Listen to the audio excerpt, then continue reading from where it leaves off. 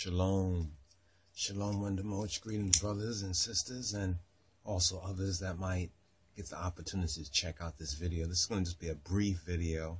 Some already know this particular subject matter, but um, shockingly or surprisingly, many are not picking up on this particular point here that the so-called Illuminati eye, the eye, this eye that's their symbol, that's their resemblance, that's their sign, their sigil in all the earth, that the scriptures, the Bible, the prophets, the prophet Zechariah, Zechariah, he already foresaw that through the Holy Spirit, the Spirit of truth. And what's so very interesting is that with all that's being um, disseminated and there's some disinfo that's being put out there, of course, but in the in the scriptural biblical knowledge of this evil eye, this evil eye, that's what it's called.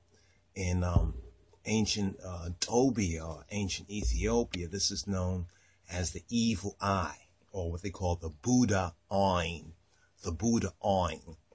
But this eye that's known as the Illuminati eye, some say Freemasonry, actually the link really is to ancient uh, Satanism, right? Or yeah, Satanawi, the Satnael and the fallen you know, the fallen archons, the devil, the angels, the fallen angels, that whole, that whole conspiracy against his majesty, that whole conspiracy against God and Christ. Mm. Many have been led to believe that this, uh, this eye or the eye that's on the dollar bill, many have been led to believe that it's the eye of Horus. But that's part of their deception right there. That's part of their you have to recognize that um, that the evildoers, right, the evildoers, they really don't have any real power if you really would understand it. Their power is the power of suggestion. You can even see that in the Ganetta Aden in the story within the first book of the Hebrew Bible, of the Bible called Bereshit or Genesis, is that the reptilian, the serpent, right? The seed of the serpent, the power is suggestion. And because of humanity's fall from the Christ mind, the God mind, the original, the original state in which they were created in the image and after the likeness, they have fallen to that reptilian cortex, that reptilian cortex. So that's where the, the, the, the seed of the serpent, that's where the reptilians, that's what they target, that lower that lower state, right? That fallen state. That's what it really means in the scripture when it says the fall of man. But this eye right here, this eye has already been for foreseen and foreshadowed and pointed out in this scripture right here in Zechariah chapter 5 verse 6. And we put out a vid, a couple of vids actually on this. Perhaps we were not as clear as we should should have been. And hopefully this will be a little more clearer so that those who sincerely those who sincerely are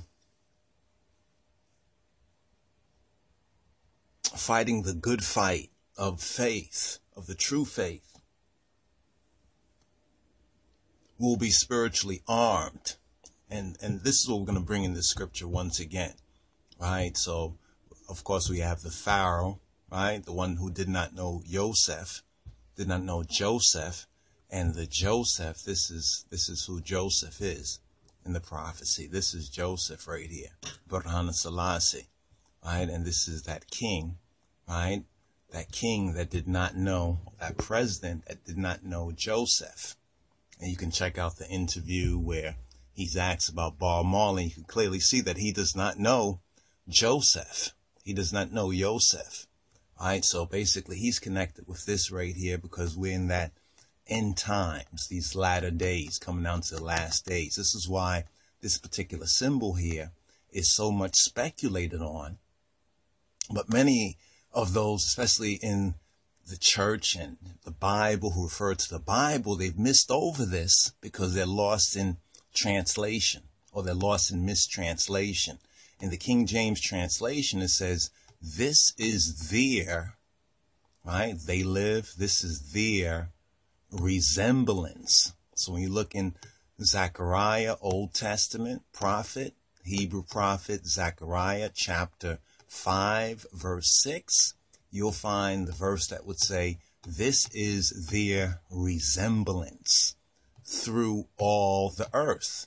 Now, this same eye in the triangle, which really has nothing to do with Egypt, but they know that they have dumbed down and poisoned the minds, the hearts and the minds, and diluted through their uh, mass media, through the prince of the ear, the airwaves, you know, people's consciences and people, you know, they're looking at the movies and stuff like that. And if they say you want to hide something, you basically hide it in the book, right? And through the miseducation system and through the poisoning and the, in the food, in the water, in the air, even in the, what you wear, even what you wear, what we wear is being poisoned, right?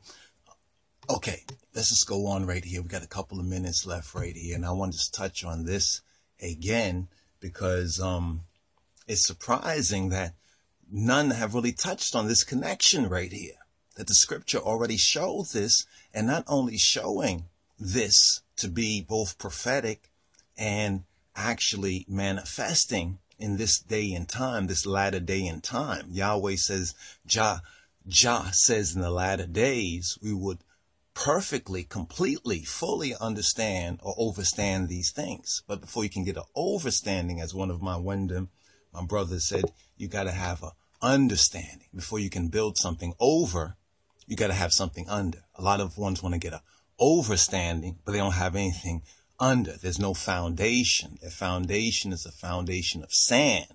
So one seeking to expose the Illuminati eye, the eye on the dollar, and all this other speculation, though there's some good information there, there's a whole lot of disinformation because the foundation, right? Because there's no foundation. This is the foundation of exposing and revealing, right, this particular resemblance, right? Which in the Hebrew, when you look into the Hebrew, the word is I, which is oin, right? Which is oin, right? Or iron, right? Here we go, right here. Here's the scripture where it says, um, and I said, right? And I said, what is it? And he said, this is an ephah.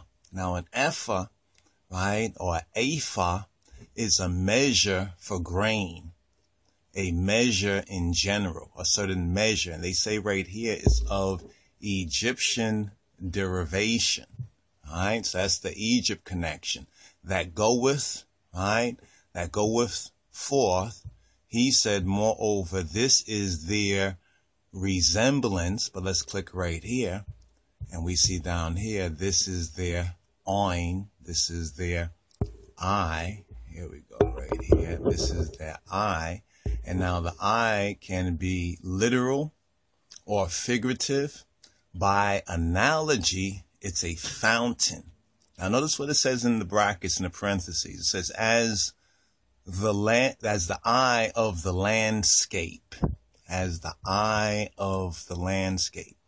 Isn't this what we see right here? As the eye of the landscape, right? At the eye, as the eye of the landscape. Now, when you break this word down, You'll find that it is a primitive word, ayin or ayin, right? And you can see all the different ways that it's translated, right? It's um, translated within the Bible. Now, if you look through all of them, it's way down here that you have resemblance. It's way down here that you have resemblance. Wouldn't it have been better right? If it was translated directly. This is for those King James only folks. King James version has a lot of positive good there, but you can't stop there. You have to get a understanding before you can come to that overstanding, before you can come to that overcoming. And I hope and I pray that this will be helpful in your fighting the good fight of faith. That's what that symbol really means from God Almighty's perspective, from His point of view. And he has a good overstanding. And with him, Jah Rastafari is the overcoming. No Joseph. I know Joseph. Know who Joseph really is. Shalom Rastafari.